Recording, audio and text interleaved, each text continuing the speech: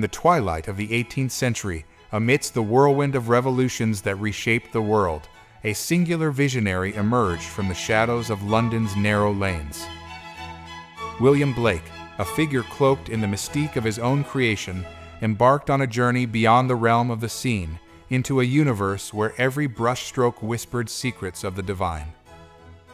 His was a world alight with prophetic visions, where angels and demons danced in the flames of human passion, and the cosmos itself unfolded with the turn of a page. In this labyrinth of dreams and revelations, Blake dared to challenge the very fabric of reality, weaving a tapestry of art and poetry that beckoned the soul to awaken. Imagine stepping through the looking glass into Blake's London, a city teeming with the tumult of change, where the clashing of the old world with the new forged the crucible of genius. Here, in a modest workshop illuminated by the flickering candlelight, Blake conjured visions of breathtaking depth and beauty, etching his legacy into the annals of time. As we delve into the heart of his mystical landscapes, we invite you to join us on a voyage of discovery. Unravel the mysteries of Blake's mind, where every painting is a portal and every poem a key to unlocking the enigma of existence itself. Venture forth and let the Odyssey begin, for in the world of William Blake, the boundaries between reality and imagination blur, and the journey is as boundless as the spirit of man. William Blake's London, beyond the mere historical backdrop, London in Blake's time was a place of stark contrast of burgeoning wealth and unspeakable poverty, of revolutionary ideas and rigid institutions. This dichotomy fueled Blake's disdain for the societal injustices and moral hypocrisy he saw around him. His experiences in London, wandering through its streets and observing its inhabitants, profoundly influenced his artistic and poetic works infusing them with a deep sense of empathy and a call for social and spiritual reform. The Bible and Christian mysticism revisited.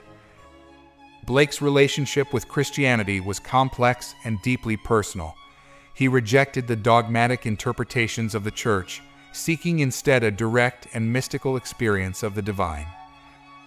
This is vividly reflected in his illustrations of the Book of Job, which moves beyond traditional biblical narrative to explore the theme of unjust suffering and divine justice through a deeply personal lens. Blake saw Job's trials not just as a test of faith, but as a journey towards a more profound understanding of God's nature and humanity's place in the universe. Emanuel Swedenborg's influence. Swedenborg's visions of a harmonious universe, where the material and spiritual were intertwined, resonated with Blake's own convictions. Blake's engagement with Swedenborgian thought is most notably reflected in his complex mythological system, where every character and symbol is imbued with multiple layers of meaning. Yet, Blake was not a follower in the strict sense. He critiqued and expanded upon Swedenborg's ideas, using them as a springboard to explore his own unique theological and philosophical visions revolutionary spirit deepened. Blake's enthusiasm for the American and French revolutions went beyond mere political support. He saw these events as apocalyptic moments that could herald the New Jerusalem, a utopia of freedom and equality. His prophetic books, filled with radical political allegories, reflect a deep engagement with the idea of revolution as a transformative force, capable of ushering in a new age of spiritual and social renewal. The poem London from his Songs of Experience captures the despair and hopelessness of the city's downtrodden, serving as a poignant critique of the societal ills Blake believed were stifling humanity's potential. The mystical beings of Blake's universe, Blake's art is populated by a vast array of mystical beings, each representing different facets of human experience and the divine.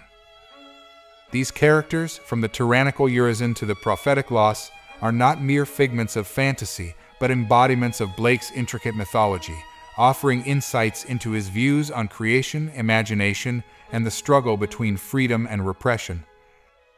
In The Great Red Dragon and The Woman Clothed with the Sun, we witness Blake's unparalleled ability to capture the dramatic tension of cosmic battles.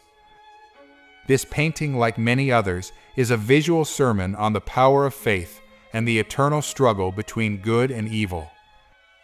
Blake's dragons are not just mythical beasts, but symbols of tyranny and oppression, while his heroes and heroines embody the indomitable spirit of resistance and the hope for salvation.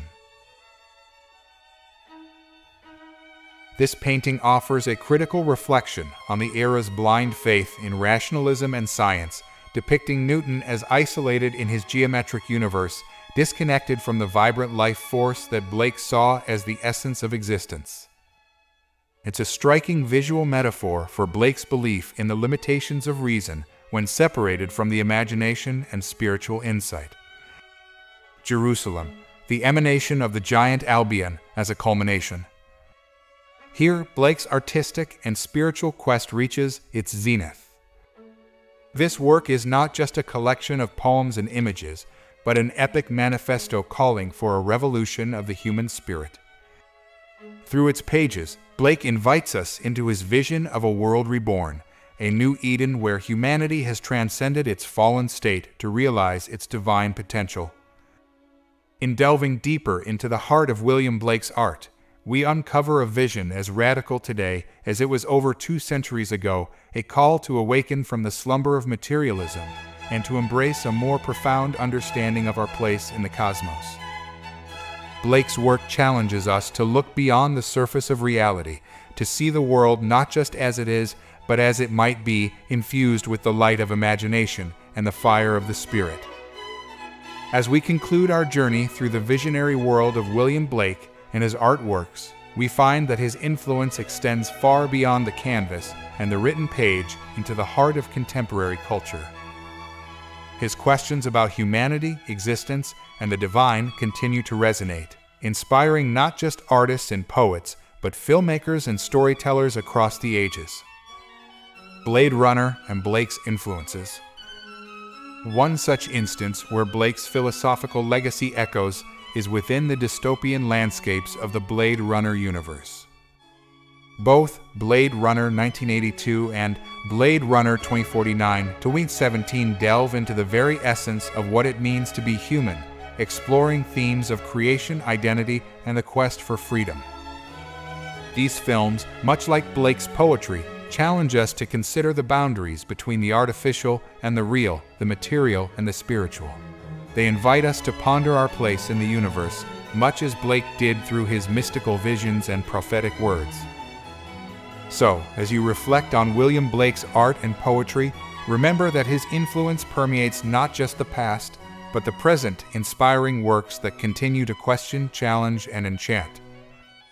Blake's vision, a world where imagination and reality merge, finds a new expression in the narrative of Blade Runner, proving that the questions he posed remain as relevant and compelling today as they were in his own time. We invite you to explore Blake's works further to find your own connections and insights in the interplay between his visions and our contemporary world. And perhaps next time you watch a Blade Runner film, you'll see the echoes of Blake's universe, where every human soul is a universe unto itself, vast, mysterious, and waiting to be explored. Thank you for joining us on this exploration of William Blake's legacy. If you've been inspired or intrigued by the intersections of art, poetry, and cinema, we've discussed today, don't forget to like, subscribe, and share your thoughts in the comments below.